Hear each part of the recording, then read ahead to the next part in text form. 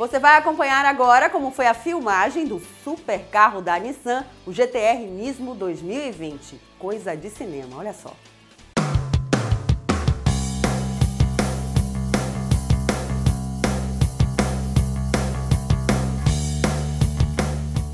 A Nissan desenvolveu o Nissan GTR Nismo 2020 para ser o auge do modelo. Para obter o desempenho máximo, o motor foi atualizado, a aerodinâmica aprimorada e o peso reduzido pelo uso meticuloso de materiais exóticos. Mas quando chegou a hora de documentar o mais novo supercarro esportivo da Nissan em seu habitat natural, a pista, havia um problema.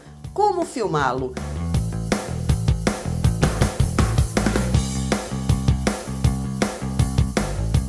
A saída foi buscar o piloto profissional Mauro Caio, um especialista em vídeos automotivos. Também conhecido por seu trabalho em filmes de grandes orçamentos e programas de automóvel para televisão, Mauro tem um carro perfeito para perseguir e filmar o GTR Nismo 2020, outro GTR.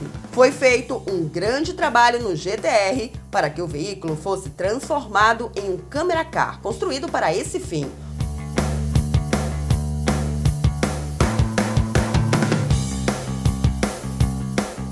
Piloto Mauro Calo e sua equipe montaram uma estrutura tubular sob medida, soldada ao chassi e capaz de suportar o peso do sistema profissional de câmeras. Graças ao seu baixo centro de gravidade, suspensão esportiva ajustável e configuração de quatro lugares, o GTR foi o carro base perfeito para acomodar uma câmera desse tipo. A filmagem exigiu uma equipe completa de câmeras, com calo ao volante, um operador de carga, um puxador de foco e um diretor, garantindo imagens fabulosas em alta definição do carro mais rápido do mundo em alta velocidade.